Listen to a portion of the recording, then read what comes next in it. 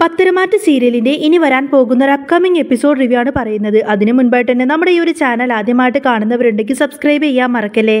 അങ്ങനെ ആദർശ് ഓഫീസ് കഴിഞ്ഞ് തിരിച്ച് വീട്ടിലേക്ക് എത്തുന്ന സമയത്ത് തന്നെ ഉമ്മറത്ത് എല്ലാവരും ഇരിക്കുന്നുണ്ടാവും. മുത്തശ്ശിയും മുത്തശ്ശനും ജാനകിയും ദേവേനിയും അനാമികയും അങ്ങനെ എല്ലാവരെയും അവിടെ കാണും. പക്ഷേ ഇതേ സമയത്ത് ആദർശ് തന്റെ കണ്ണുകൾ കൊണ്ട് തിരയുന്നത് നയനയായിരിക്കും. എന്നാൽ നയനെ അവിടെ ഒന്നും കാണാത്തത് കൊണ്ട് തന്നെ ദേവയാനിയോട് ചോദിക്കുന്നുണ്ട്. ആദർശ് ചോദിക്കുന്നുണ്ട് നയനെ എവിടെ അമ്മയെന്ന് ചോദിക്കും? അപ്പോഴേക്കും ദേവേരി പറയുന്നത് നിന്റെ ഭാര്യ ഇവിടെ എവിടെയെങ്കിലുമൊക്കെ കാണുമെന്നൊക്കെ പറയും. എന്നാൽ ഇതേ സമയത്ത് തന്നെ ആയിരിക്കട്ടെ ആദർശനുള്ള ചായയുമായിട്ട് ജാനകി അങ്ങോട്ടേക്ക് വരുന്നത്. അപ്പോഴേക്കും ജാനകി ചെറിയമ്മയുടെ കയ്യിൽ നിന്ന് ആ ഒരു ചായ വാങ്ങിയിട്ട് ആദർശ് കുടിക്കണം എന്നിട്ട് വീണ്ടും ചോദിക്കുന്നുണ്ട്. അല്ല നയന എവിടെ? അവളെ കാണുന്നില്ലല്ലോ. സാധാരണ ചായ തരുന്നത് നയനയല്ലേ? എന്നൊക്കെ ചോദിക്കും. എന്നാൽ ഇതും കേട്ടുകൊണ്ട് തന്നെ ജലജ പറയുന്നുണ്ട് ഓ അവളിപ്പോൾ കെട്ടിലമ്മയല്ലേ അവളിപ്പോൾ കെട്ടിലമ്മ ചമഞ്ഞിട്ട് അവിടെ അവളുടെ റൂമിൽ ബെഡ്റൂമിൽ ഇരിക്കുന്നുണ്ടാവും. അവൾക്കിപ്പോൾ ആരെയും പേടിയില്ലല്ലോ. അതുകൊണ്ട് തന്നെ കെട്ടിലമ്മമാർ ഇപ്പോൾ എന്താ ചെയ്യുന്നതെന്ന് പറയാൻ പറ്റില്ല എന്നും പറയും. എന്നാൽ ഇത് കേൾക്കുന്ന സമയത്ത് തന്നെ നവ്യക്ക് അങ്ങ് ദേഷ്യം വന്നിട്ട് പറയുന്നുണ്ട് ദേ അമ്മയെ സൂക്ഷിച്ച് സംസാരിക്കണം. എപ്പോഴും ഇതുപോലെ ഇങ്ങനെ സംസാരിച്ചാൽ ഏത് സമയത്തും ഇങ്ങനെ കേട്ട് നിന്നോളെന്നും വരില്ല. അതിപ്പോൾ അമ്മായിയമ്മയാണെങ്കിലും ശരി എന്റെ അനിയത്തി ഇങ്ങനെ കുറ്റപ്പെടുത്തി സംസാരിക്കുന്നതൊന്നും കേട്ട് നിൽക്കാൻ എന്നെ കൊണ്ട് കഴിയില്ല എന്ന് പറയട്ടെ നവ്യ. അപ്പോഴേക്കും മുത്തശ്ശി ചോദിക്കുന്നതിന് എന്താ ജലജി നീ ഇങ്ങനെ ആരെങ്കിലും എവിടെയെങ്കിലുമൊക്കെ വെച്ച് സംസാരിക്കുന്ന സമയത്ത് അതിനിടയിൽ നീ എന്തിനെങ്ങനെ കോലിടാൻ വരുന്നത് നിനക്ക് നിന്റെ പണി മാത്രം നോക്കിയാൽ പോരെ ക്ഷമിക്കുന്നതിനും ഒരു പരിധിയുണ്ട് എന്നൊക്കെ പറയട്ടെ മുത്തശ്ശി. എന്നിട്ട് ആദർശനോട് പറയുന്നുണ്ട് മുത്തശ്ശി മോനെ അവൾ കുറേ നേരമായി അവളുടെ മുറിയിലേക്ക് പോയിരിക്കുന്നു. പക്ഷേ ഇതുവരെയായിട്ടും അവളെ കണ്ടില്ല. ചിലപ്പോൾ അവൾ ഓഫീസിലേക്കുള്ള വല്ല വർക്കും ചെയ്തുകൊണ്ടിരിക്കുകയായിരിക്കും നീ ഏതായാലും മുറിയിൽ പോയി നോക്ക് നായനമോൾ അവിടെ തന്നെ കാണുമെന്നൊക്കെ പറയട്ടെ മുത്തശ്ശി. എന്നാൽ പതിവ് പോലെ താൻ ഓഫീസിൽ നിന്നും തിരിച്ചു വരുന്ന സമയത്ത് തന്നെ സ്വീകരിക്കാൻ നയനെ കണ്ടില്ലല്ലോ എന്നൊക്കെ ചിന്തിച്ചുകൊണ്ടായിരിക്കട്ടോ ആദർശ് നേരെ തന്റെ ബെഡ്റൂമിലേക്ക് കയറി പോകുന്നത്.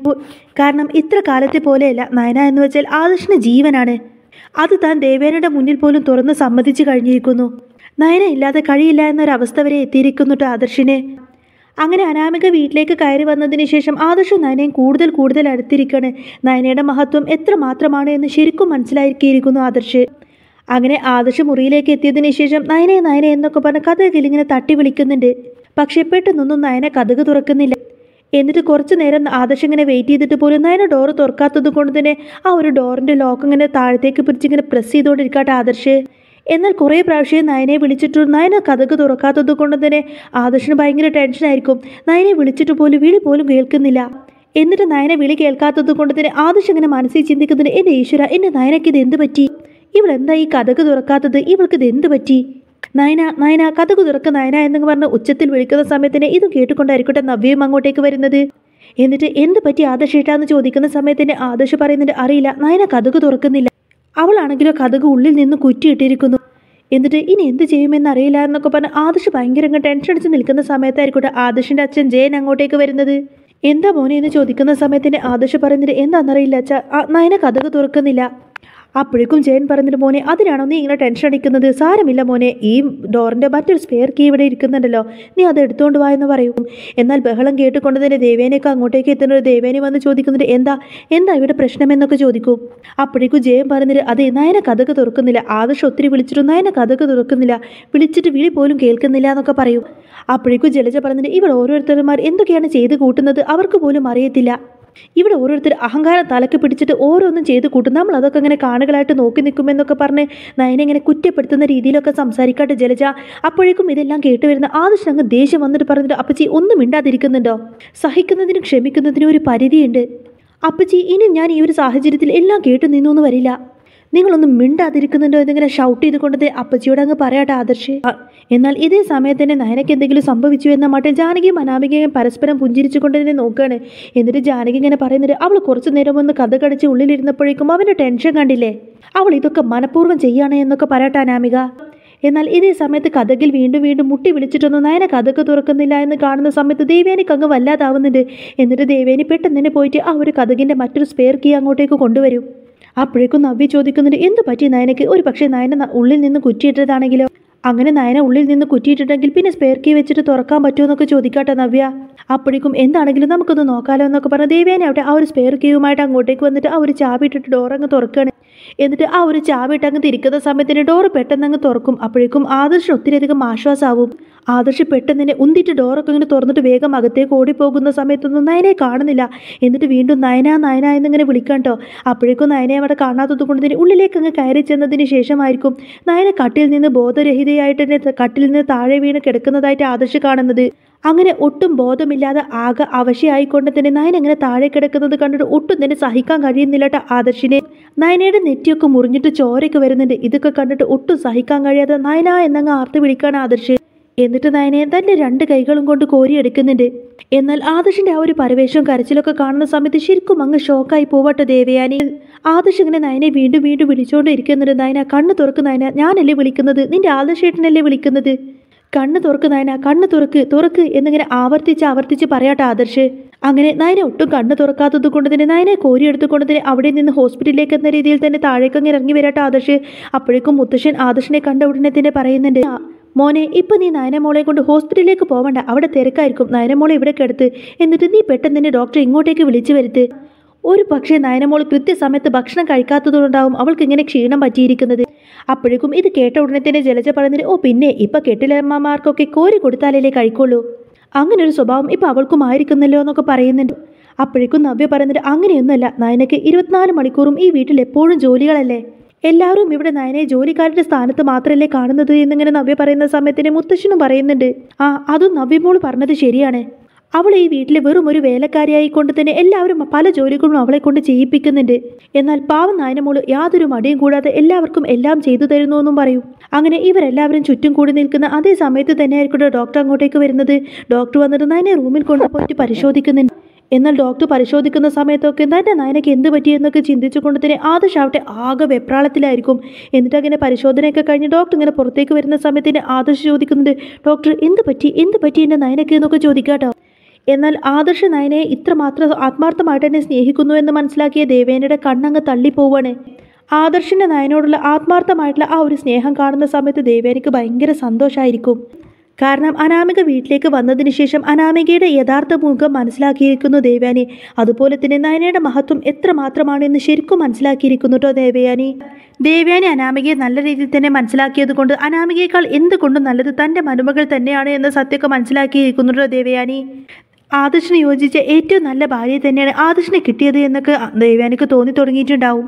അങ്ങനെ നയനെ ചെക്കപ്പ് ചെയ്തതിന് ശേഷം ഡോക്ടർ പുറത്തേക്ക് വന്ന് പറയുന്നുണ്ട് നയനയുടെ ബ്ലഡ് പ്രഷർ വളരെ ലോ ആയിരിക്കുന്നു. അല്ലാതെ ആ കുട്ടിക്ക് യാതൊരു കുഴപ്പവുമില്ല. ഭക്ഷണമൊന്നും കൃത്യമായി കഴിക്കാത്തത് കൊണ്ട് തന്നെ ആ കുട്ടിയുടെ ബോഡി വളരെ വീക്കാണ് അതുകൊണ്ട് ഒരു മൂന്നാൽ ദിവസം റെസ്റ്റ് എടുത്തിട്ട് നല്ല രീതിയിൽ തന്നെ ഭക്ഷണം കഴിച്ചാലുള്ള പ്രശ്നം മാത്രമേ ഉള്ളൂ എന്നൊക്കെ പറയും. എന്നാൽ ഇത് കേൾക്കുന്ന സമയത്തായിരിക്കട്ടെ ആദർശനൊന്ന് ആശ്വാസമാവുന്നത്. കേട്ടില്ലേടെ ആദർശേ? നിന്റെ കമ്പനിയുടെ കോടാനക്കോടി സ്വത്തിന്റെ ഉടമയാണ് ഇന്ന് നയന. നയന ഈ വീട്ടിലേക്ക് കയറി വന്നതിന് ശേഷം നമ്മുടെ കമ്പനിക്ക് വേണ്ടിയിട്ട് എത്രമാത്രം കോടികളുടെ ബിസിനസ്സിന്റെ ഉള്ള ഡിസൈൻസ് ആണ് അവൾ വരച്ചുണ്ടാക്കിയത്. എന്നാൽ പുറത്തു നിന്നൊരു ഡിസൈനറെ വിളിച്ചിട്ട് വരപ്പിക്കുകയാണെങ്കിൽ ലക്ഷങ്ങൾ അവർ പറയുന്ന അത്രയും തുക തന്നെ നമ്മൾക്ക് കൊടുത്തിരിക്കണം. എന്നാൽ ഇവിടെ നയനമോളാവട്ടെ ഒരു പൈസ പോലും മേടിക്കാതെ ഒരു രൂപ പോലും വാങ്ങിക്കാതെ വളരെയധികം ആത്മാർത്ഥതയോട് കൂടിയാണ് അവൾ നമുക്ക് വേണ്ടി ഡിസൈൻസ് ഒക്കെ വരച്ചു തരുന്നത്. നീ ഒരു പ്രതിസന്ധിയെ ഫേസ് ചെയ്ത സമയത്ത് നമ്മുടെ കമ്പനിയെ രക്ഷപ്പെടുത്തി കൊണ്ടുവന്നത് പോലും നയനമോളാണ്. എന്നിട്ട് പോലും യാതൊരു ജാടയുമില്ലാതെ ഈ വീട്ടിലെ എല്ലാ പണികളും അവൾ ചെയ്തു തരുന്നു. ആർക്കും യാതൊരു കുറവും വരർത്താതെ എല്ലാവരുടെയും ഇഷ്ടത്തിനനുസരിച്ച് എല്ലാ കാര്യങ്ങളും അവൾ നയനമോൾ ചെയ്തു തരുന്നുണ്ട്. എന്നിട്ട് എന്താ കാര്യം? എന്നും അവൾക്ക് കുറ്റപ്പെടുത്തലും പരാതികളും മാത്രമല്ലേ നമ്മൾ കൊടുക്കാറുള്ളൂ. ഇപ്പോഴും നയനമോളെ വേദനിപ്പിക്കൽ മാത്രമല്ലേ എല്ലാവരും ചെയ്തുകൊണ്ടിരിക്കുന്നതും അല്ലാതെ നയനമോളെ സന്തോഷിപ്പിക്കുന്ന ഒരു വാക്കെങ്കിലും ആരെങ്കിലും അവളോട് പറയുന്നുണ്ടോ? നയനമോളെ സന്തോഷിപ്പിക്കാൻ വേണ്ടി എന്തെങ്കിലും കാര്യങ്ങൾ നിങ്ങൾ ആരെങ്കിലും ഇവിടെ ചെയ്തു കൊടുത്തിട്ടുണ്ടോ? എന്നാൽ മുത്തശ്ശി എങ്ങനെ ദേവേന്റെ മുഖത്തരച്ചതുപോലെ അങ്ങ് ചോദിക്കുന്ന സമയത്ത് അതിൽ സത്യമുണ്ട് എന്ന് ദേവേനയ്ക്ക് പോലും തോന്നി തുടങ്ങും അപ്പോഴേക്കും ജലജ പറഞ്ഞിട്ട് അച്ഛൻ എന്തിനാ അവളെ ഇങ്ങനെ പൊക്കി സംസാരിക്കുന്നത്? ഇവിടെ ഒരു വേലക്കാരത്തി ഉണ്ടല്ലോ മീനാക്ഷി. അവളാണ് ഈ വീട്ടിലെ ജോലികളൊക്കെ ചെയ്യുന്നത്. അല്ലാതെ നയന ഇവിടെ എന്ത് പണി ചെയ്യുന്നെന്ന് അച്ഛൻ ഈ പറയുന്നത്? അവൾ ജോലി ചെയ്യുന്നു എന്ന് വരുത്തി തീർക്കാൻ വേണ്ടിയിട്ട് വെറുതെ എല്ലാവരുടെയും മുന്നിൽ വന്നിങ്ങനെ അഭിനയിക്കുന്നതല്ലേ? അല്ലാതെ അവൾ ഒരു ജോലി കൃത്യമായിട്ട് ചെയ്യുന്നത് ഞാൻ എന്റെ കണ്ണുകൊണ്ടൊന്നും കണ്ടിട്ടില്ല എന്ന് പറയട്ടെ ജലജ. അപ്പോഴേക്കും ദേവേനയ്ക്ക് അങ്ങ് ദേഷ്യം വന്നിട്ട് ജലജയോട് പറഞ്ഞിട്ട് ജലജ നീ മിണ്ടി പോവരുത് ഇവിടെ കൃത്യമായിട്ട് മീനാക്ഷി ജോലിക്ക് വന്നിരുന്നു. എന്നിട്ട് പോലും പാവനായനെ കൊണ്ട് എന്നെ തെറ്റിദ്ധരിപ്പിച്ചിട്ട് മീനാക്ഷി പോലും ഇവിടെ നിന്ന് പറഞ്ഞു വിട്ടത് നീയല്ലേ? അതുകൊണ്ട് നിർത്ത് ജലജെ നീ ഈ സംസാരം ഇവിടെ വെച്ച് നിർത്തിക്കോ. അതുകൊണ്ട് എന്റെ മരുമോൾ നയനെ ഇനി മുതൽ ഞാൻ നോക്കിക്കോളാം. എന്നാൽ ഇതേ സമയത്തിന് ദേവേനെ സപ്പോർട്ട് ചെയ്തുകൊണ്ട് തന്നെ ജാനകിയും സംസാരിക്കാൻ തുടങ്ങും. കാരണം അനാമികയുടെ കൃത്യമായിട്ടുള്ള സ്വഭാവം എന്താണെന്ന് മനസ്സിലാക്കിയത് കൊണ്ട് തന്നെ അനാമികയെ വെറുത്തു തുടങ്ങിയിട്ടുണ്ടാവട്ടെ ജാനകി. എന്നിട്ട് ജാനകി പറയുന്നുണ്ട് അതെ എന്റെ അടുത്തും തെറ്റുണ്ട്. ഇനി മുതൽ നയനമോളുടെ എല്ലാ കാര്യങ്ങളും ഞാൻ നോക്കിക്കോളാം. പാവം നയനമോൾ നമുക്കൊക്കെ വേണ്ടി വച്ചുണ്ടാക്കുന്നുണ്ട് എന്നാൽ അവളുടെ ഹെൽത്ത് കണ്ടീഷനൊന്നും അവൾ പോലും നോക്കാറില്ല. അതുകൊണ്ട് നയനമോളുടെ ഭക്ഷണ കാര്യങ്ങളൊക്കെ ഇനി മുതൽ ഞാൻ നോക്കിക്കോളാം എന്നൊക്കെ പറയട്ടെ ജാനകി. അങ്ങനെ ഇവരെല്ലാവരും ഇങ്ങനെ പരസ്പരം നയനയുടെ കാര്യങ്ങളൊക്കെ ഏറ്റെടുത്ത് സംസാരിക്കുന്ന സമയത്തായിരിക്കും കേട്ടോ എല്ലാവരെയും ഞെട്ടിച്ചുകൊണ്ട് ആ ഒരു കാഴ്ച കാണുന്നത്. ആദർശ് ഷൗട്ടെ കിച്ചണിൽ പോയിട്ട് നയനക്കുള്ള ഭക്ഷണമൊക്കെ സ്വയം പ്രിപ്പയർ ചെയ്തിട്ട് ആ ഒരു ഭക്ഷണം കഴിപ്പിക്കാൻ വേണ്ടി നയനയുടെ അടുത്തേക്ക് കൊണ്ടുപോയി കൊടുക്കാൻ ആദർശ്. അങ്ങനെ ആദർശ് തന്റെ കൈകൊണ്ട് ഉണ്ടാക്കി കൊണ്ടുവന്ന ഭക്ഷണം നയനക്ക് ഇങ്ങനെ വാരി കൊടുക്കാൻ സമയത്തിന് നയന പറയുന്നുണ്ട് ആദർശിട എനിക്കിപ്പോൾ ഭക്ഷണമൊന്നും വേണ്ട അതവിടെ വെച്ചോളൂ. എനിക്ക് എന്താ പറ്റിയതെന്നറിയില്ല പെട്ടെന്നൊരു ക്ഷീണം വന്നു. ക്ഷീണം കൊണ്ട് ഞാൻ പെട്ടെന്ന് ബോധം കിട്ടി വീഴായിരുന്നു പിന്നീട് എന്താണ് സംഭവിച്ചതെന്നൊന്നും എനിക്കറിയില്ല. എനിക്ക് പിന്നെ ഓർമ്മ പോലും ഇല്ല എന്നൊക്കെ പറയട്ടെ നയന. പിന്നെ എനിക്കിപ്പോൾ എന്തായാലും ഭക്ഷണമൊന്നും വേണ്ട എനിക്കെന്തോ ഒരു വല്ലാത്ത പോലെ എനിക്കിപ്പോൾ ഭക്ഷണം കഴിക്കാനൊന്നും പറ്റുന്നില്ല എന്നൊക്കെ പറയുന്ന നയന. അപ്പോഴേക്കും ആദർശ് പറഞ്ഞിട്ട് വേണ്ടതായനെ നീ ഇങ്ങനെ കഴിച്ചോളാം കഴിച്ചോളാം എന്ന് പറയും. പക്ഷെ നീ നിന്റെ ഭക്ഷണക്കാരെ പോലും നോക്കുന്നില്ല. എന്നിട്ട് നീ ഭക്ഷണമൊന്നും കഴിക്കില്ല. പിന്നീട് നിനക്ക് സംഭവിക്കാൻ പോകുന്നത് ഇതൊക്കെയാണ്. നീ തന്നെ കണ്ടില്ലേ നിന്റെ നെറ്റിയിലെ മുറിവ്? ഇനി ഒരിക്കലും ഇങ്ങനെയൊന്നും ആവർത്തിക്കാൻ പാടില്ല. അതുകൊണ്ട് ഇനി മുതൽ നിന്റെ കാര്യങ്ങളൊക്കെ ഞാൻ ശ്രദ്ധിച്ചോളാം. അതുകൊണ്ട് തന്നെ നിന്റെ ആരോഗ്യം പൂർവസ്ഥിതിയിൽ എത്തുന്നത് വരെ ഇനി ഞാനാണ് നിന്നെ നോക്കുന്നത് എന്നൊക്കെ പറയും. അപ്പോഴേക്കും നയനെ ചോദിക്കുന്നുണ്ട് എന്താ ആദർശേട്ടായി പറയുന്നത്? ആദർശേട്ടന് ഓഫീസിൽ പോവേണ്ടതില്ലേ? ഒരു ഇമ്പോർട്ടന്റ് മീറ്റിംഗ് ഉണ്ട് എന്നൊക്കെ പറഞ്ഞില്ലേ? എന്നൊക്കെ ചോദിക്കും. അപ്പോഴേക്കും ആദർശ് പറയുന്നുണ്ട് ഓഫീസ് കാര്യങ്ങളൊക്കെ ഇവിടെ വെച്ചിട്ടും എനിക്ക് മാനേജ് ചെയ്യാൻ പറ്റും. നീ ചെയ്യുന്ന ഡ്യൂട്ടി പോലും എനിക്ക് ചെയ്യാലോ എന്നും പറയാട്ടെ ആദർശ്. അങ്ങനെ ആദർശ് തന്റെ കൈകൊണ്ട് നയനക്ക് ഇങ്ങനെ ഭക്ഷണം വാരി കൊടുക്കുന്ന സമയത്തിന് നയന പറഞ്ഞിട്ട് ആദർശേട്ടാ ഇനി നമുക്കിടയിൽ ഒരു ദാമ്പത്യ ജീവിതം വേണം. പക്ഷേ അത് മുത്തശ്ശന്റെ അസുഖം മാറുകയോ ഇനി മുത്തശ്ശൻ എന്തെങ്കിലും സംഭവിക്കുകയോ ചെയ്താൽ ആദർശേട്ടൻ എന്നെ ഒഴിവാക്കുമോ ഇല്ലയോ എന്ന സത്യം അറിഞ്ഞതിന് ശേഷം മാത്രം മതി. എന്താണെങ്കിലും ആദർശേട്ടൻ ഇന്ന് എന്നെ ഏറ്റെടുത്തു കഴിഞ്ഞാൽ ഈ ഭൂമിയിലെ ഏറ്റവും വലിയ ഭാഗ്യവിധി ഞാൻ തന്നെയാണ് എന്നിങ്ങനെ മനസ്സുകൊണ്ട് പറയേണ്ട നയന. എന്നിട്ട് ആദർശ് തനിക്കിങ്ങനെ ഭക്ഷണം വാരി തരുന്ന സമയത്ത് വളരെയധികം ഇഷ്ടത്തോടു കൂടി ആദർശിന്റെ കണ്ണിലേക്ക് തന്നെ കണ്ണിമ വെട്ടാതെ നോക്കിയിരിക്കുന്ന നയനയും കാണിച്ചുകൊണ്ടാണ് കേട്ടോ എപ്പിസോഡ് പൂർണമാവുന്നത്. ഇതുപോലെയുള്ള പത്തരമാറ്റ സീരിയലിന്റെ അപ്കമിങ് റിവ്യൂസും ഡെയിലി റിവ്യൂസും ഒക്കെ എന്നും കേൾക്കാൻ താല്പര്യമുണ്ടെങ്കിൽ തീർച്ചയായിട്ടും നിങ്ങൾ ഈ ഒരു ചാനൽ സബ്സ്ക്രൈബ് ചെയ്തിട്ടൊന്ന് സപ്പോർട്ട് ചെയ്യണേ.